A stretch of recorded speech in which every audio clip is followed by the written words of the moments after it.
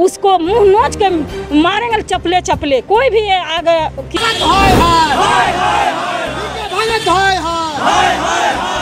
इतना गंदा गंदा लैंग्वेज बोलता है पार्टी लोग। इतना गंदा गंदा लैंग्वेज बोलता है कि हम अभी बखान नहीं कर सकते हैं। अमित जी, अब गृह मंत्री है। हाथ जोड़कर रिक्वेस्ट है कि गृह मंत्रालय आपके पास है, गृह युद्ध ना हो पाए। इसकी क्योंकि ये लहर जग चुकी है।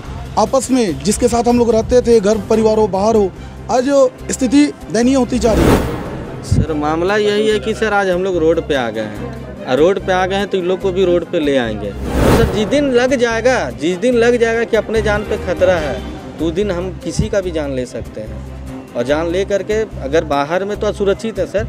मार के और जेल जाके बैठ जाएँगे आराम से सुरक्षित। सहारा समूह में पैसा इन्वेस्ट करने वालों के लिए अच्छी खबर है।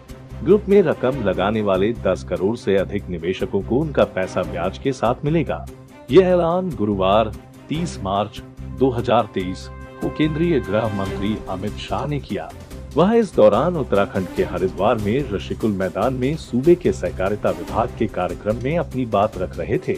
शाह ने कहा कि सहारा समूह की ओर से चलाई जा रही चार सहकारी समितियों के 10 करोड़ से अधिक निवेशकों को उनका पैसा ब्याज सहित मिलेगा। उनके निवेश को ब्याज सहित लौटाने की प्रक्रिया तीन चार महीने में शुरू हो जाएगी। केंद्रीय मंत्री के मुताबिक, सुप्रीम कोर्ट ने सहारा ग्रुप की सहकारी समितियों में निवेश करने वाले निवेशकों का पैसा लौटाने का आदेश जारी किया है। सहकारिता मंत्रालय लगातार इस मामले को आगे बढ़ा रहा है।